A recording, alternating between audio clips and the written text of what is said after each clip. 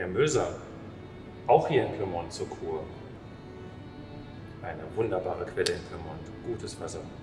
Hat Möser sogar sich mit nach Hause genommen nach seinem vier Wochen Kuraufenthalt oder drei Wochen.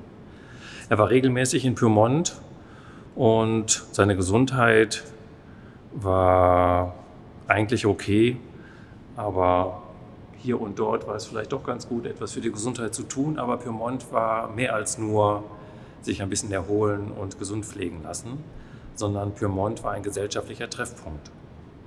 Und das Besondere im 18. Jahrhundert an diesen Orten ist, dass sich dort die Ständegesellschaft bereits auflöst.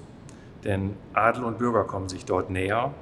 Das, was sozusagen in der Struktur fest angelegt ist, das sucht sich bereits Orte, wo man über diese Ständegrenzen hinweg miteinander spricht. Das passiert in Piemont in kleinen Teeassemblees, wenn man sich trifft. Wenn der Fürst zum Frühstück einlädt, lädt er dort nicht nur Adelige ein, nein, inzwischen auch Bürgerliche. Und was macht Justus Möser? Er ist sogar ein Bürgerlicher, der Adelige einlädt. Das nenne ich mal Courage.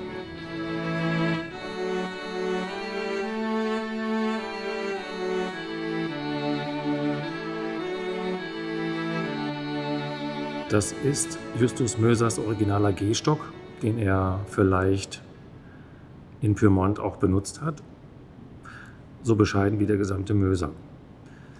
In Pyrmont traf er sich mit bekannten Leuten wie Lessing zum Beispiel, der ja für die deutsche Aufklärung sehr wichtig ist, der sich auch mit Fragen der Religion befasst hat, auch für Möser ein wichtiges Thema.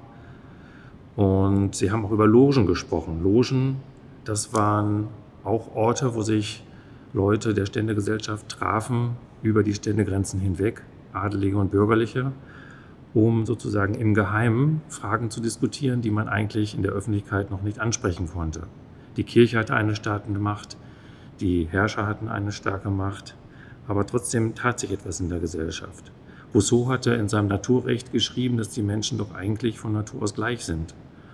Und diese Fragen wurden diskutiert. Und dann kam man natürlich zwangsläufig zu dem Punkt, dass man sagte, warum wird eigentlich in der Gesellschaft unterschieden zwischen Adeligen, zwischen bürgerlichen Bauern